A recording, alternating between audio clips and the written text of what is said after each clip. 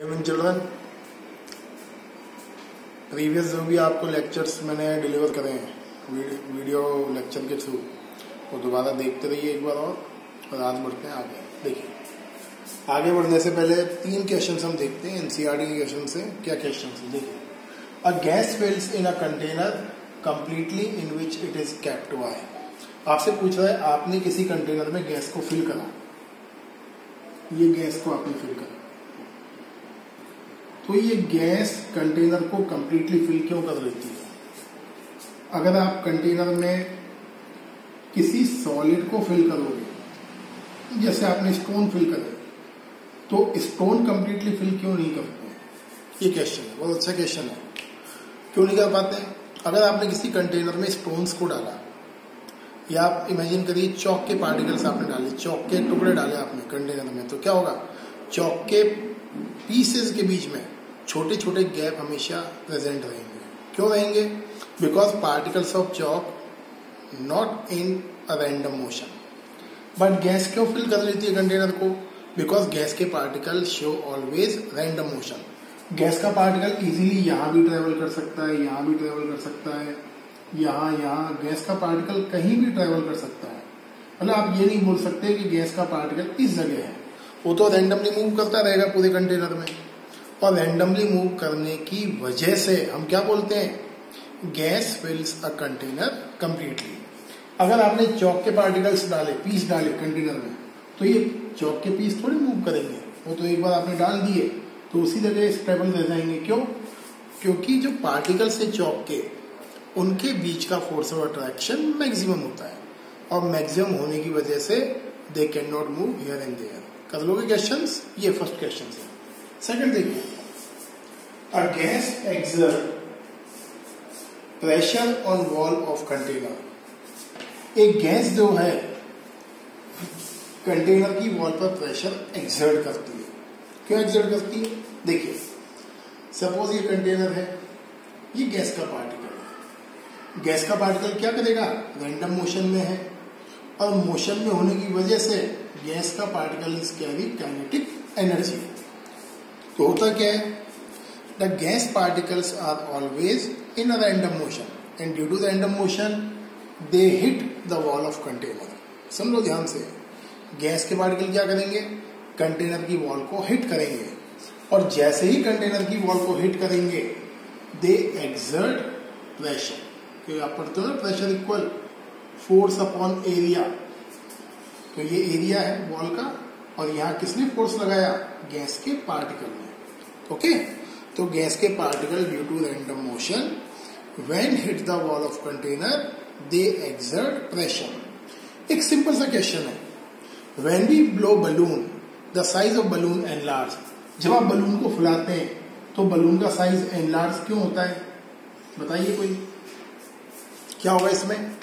Enlarge इसलिए होता है कि जो गैस के पार्टिकल्स होते हैं they exert pressure on the wall of balloon जब तक गैस के पार्टिकल्स या एयर के पार्टिकल बलून की वॉल पर प्रेशर नहीं लगाएँगे फोर्स नहीं लगाएँगे balloon will not enlarge same case water के साथ. है वाटर को फिल करिए बलून में. बलून एनलार्ज हो जाएगा. सेम कॉन्सेप्ट है. Because particles of water exert pressure on wall of balloon कर लोगे? लास्ट क्वेश्चन है। A wooden table should be called solid why ये तो बहुत आसान है। वुडन टेबल को सॉलिड क्यों कहना चाहिए? वुडन टेबल का डेफिनेट शेप होता है। डेफिनेट वॉल्यूम होता है। Wooden table is hard wooden table do not flow wooden table carry more than one open surface तो जो भी प्रॉपर्टी आपने सॉलिड्स की लिखी है, वो सारी प्रॉपर्टी किसमें होती है? वुडन टेबल में होती है। That's why we call wooden table is a solid तो ये तीन क्वेश्चन एनसीआरटी के थे, आगे बढ़ते हैं। देखिए, अगला हमारा टॉपिक है इंटर कन्वर्जन ऑफ़ मैटर पहले डायग्राम को ध्यान से देख लीजिए। ध्यान से वॉच करिए केयरफुली क्या है? हमने गैस को चेंज करा सॉलिड में, और ये इंटर कन्वर्जन है किसका? आपके सॉलिड गैस और लिक्विड का। देखिए, सबसे पहले ध्यान दीजिए अगर आपके मैटर की स्टेट्स को इंटर कन्वर्ट करना है तो दो चीज़ें इंपॉर्टेंट है। फ़र्स्ट है temperature and second is pressure temperature और प्रेशर की वैल्यू को अप एंड डाउन करके हम क्या कर सकते हैं? स्टेट ऑफ़ मैटर को चेंज कर सकते हैं। सिंपल कॉन्सेप्ट देखिए। आपके पास सॉलिड है, ये लिक्विड और आपके पास गैस सपोज़ करिए मैंने इसको हीट करना शुरू करा। तो हीट करने से क्या होगा? Particle of solid will move away from each other and solid convert into liquid और हीट करोगे again particle move away from each other and liquid convert into gas okay अब उल्टा चलिए। मैंने गैस पर लगाया प्रेशर प्रेशर मतलब मैंने क्या करा? गैस के पार्टिकल को कंप्रेस करना शुरू करा। जैसे हम कंप्रेस करेंगे तो क्या होगा? गैस के पार्टिकल एक दूसरे के पास आएँगे क्लोजली मूव करेंगे। When the gas particles come close ultimately particle convert into liquid और ज़्यादा प्रेशर लगाओगे, और ज़्यादा कूल करोगे, ठंडा करोगे तो क्या होगा अल्टीमेटली कन्वर्ट इनटू सॉलिड अब थोड़ा डिटेल में समझते हैं डायग्राम की हेल्प समझ देखिए।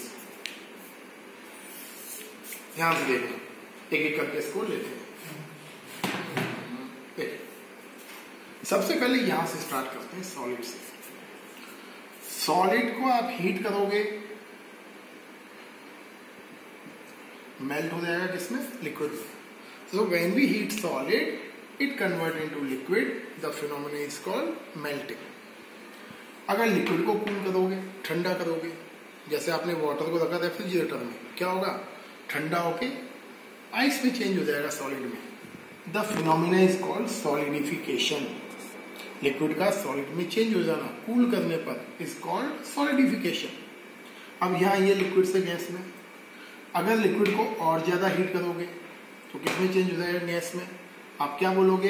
इवेपोरेशन गैस को कूल करोगे प्रेशर अप्लाई करोगे। सुन लो ध्यान से गैस को आपने बहुत कूल करा और प्रेशर से कंप्रेस करा गैस को। क्या होंगे मॉलिक्यूल गैस के मॉलिक्यूल एक दूसरे के पास आएँगे। And ultimately gas convert into liquid इसको आप क्या बोलोगे? लिक्वेशन ये वर्ड देख लो liquation L I Q U A T I O N अब सॉलिड को यहाँ देखो। अगर आपने सॉलिड को हीट करा and solid directly convert into gas इसको हम बोलते हैं सब्लिमेशन ये डेफिनेशन आता है, इसको डिटेल में पढ़ेंगे आराम से। So when we heat solid and solid if convert directly into gas. The phenomena is called sublimation. Example आपका अमोनियम क्लोराइड कैम्फर कैम्फर देखा है आपने? पूजा में हम यूज़ करते हैं। कैम्फर को हम जैसे हीट करते हैं camphor directly convert into gas without changing into liquid naphthalene ball ये सब क्या है? सब्लिमेशन के एग्ज़ाम्पल अगर आपने गैस को बहुत कूल करा, ठंडा कर दिया गैस को तो गैस क्या होगी? If gas directly convert into solid इसको भी हम सब्लिमेशन बोलते हैं या सॉलिडिफिकेशन बोलते हैं। ओके ध्यान रखना। टू टाइप से होता है sublimation gas directly convert into solid या solid directly convert into gas is called sublimation तो ये टर्म ध्यान रखने हैं आपको ओके इसके सारी डेफिनेशन बताऊँगा वन बाय वन देख लो एक बार डायग्राम ढंग से, फिर आगे बढ़ते हैं।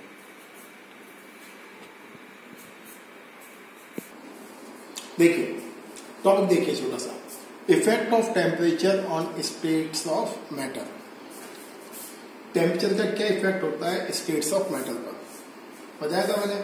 अगर आप सॉलिड को हीट करोगे solid convert into liquid liquids को हीट करोगे लिक्विड्स कन्वर्ट इनटू गैस होता क्या देखिए व्हेन वी हीट सॉलिड तो जो सॉलिड के पार्टिकल्स हैं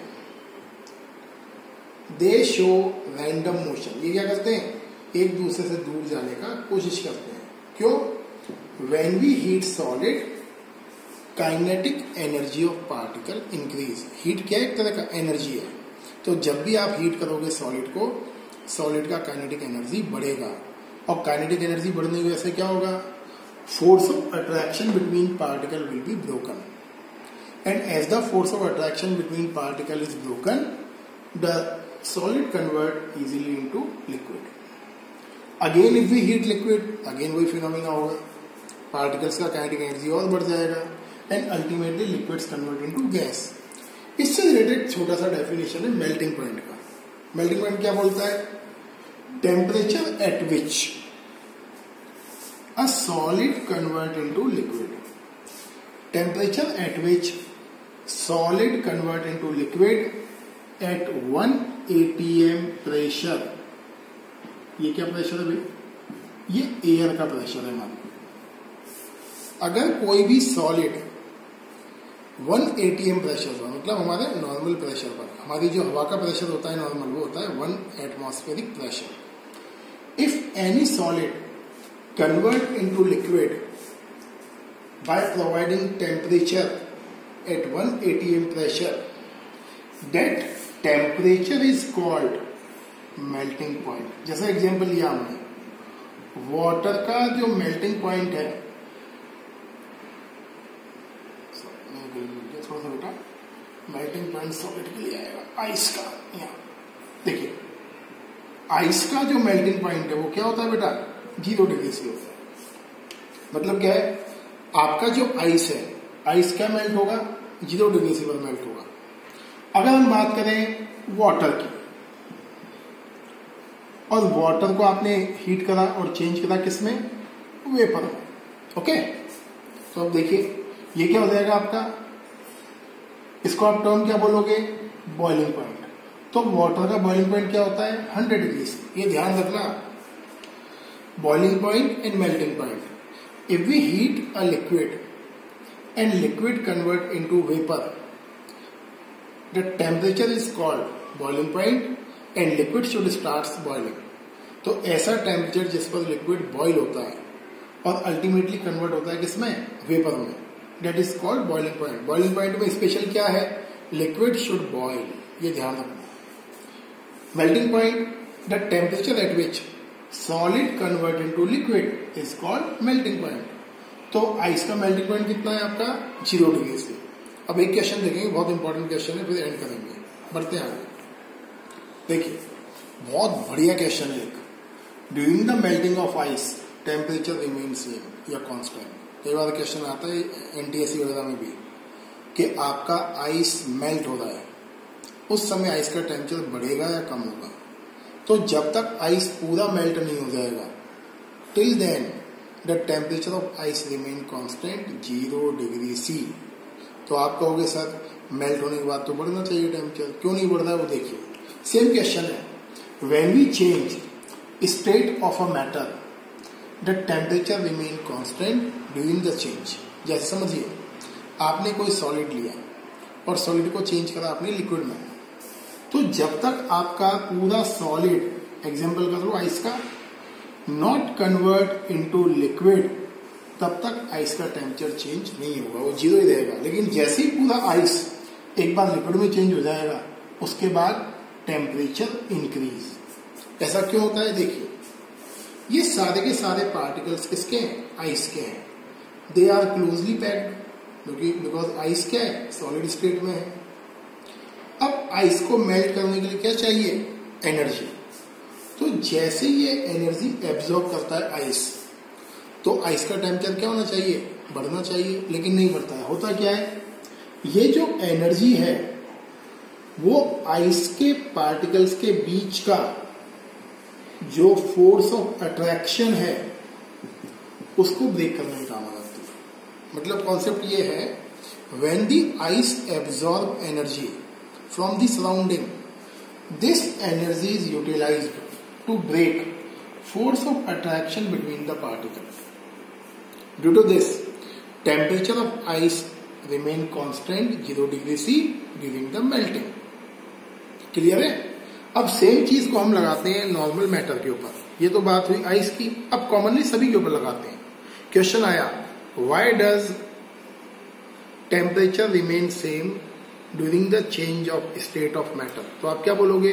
When the state of matter change the energy absorb by matter is utilized to break the force of attraction between the particle मतलब जो energy absorb कर रहा है मैटर वो क्या काम आ रहा है? उस मैटर के पार्टिकल के फोर्स ऑफ़ अट्रैक्शन को ब्रेक करने में काम आ रहा है।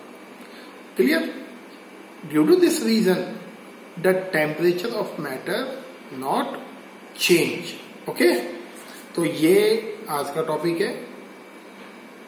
ध्यान से देखिए वीडियो केयरफुली कोई डाउट हो व्हाट्सएप करिए ग्रुप में, कल वर्कशीट करेंगे इससे रिलेटेड ओके और एक दिन हम टेस्ट रखेंगे। नेक्स्ट वीक एक टेस्ट रख लेते हैं छोटा वर्कशीट नहीं करेंगे, जितना हमने पढ़ लिया है, उतने का हम टेस्ट करेंगे अगले हफ़्ते okay thank you and have a nice day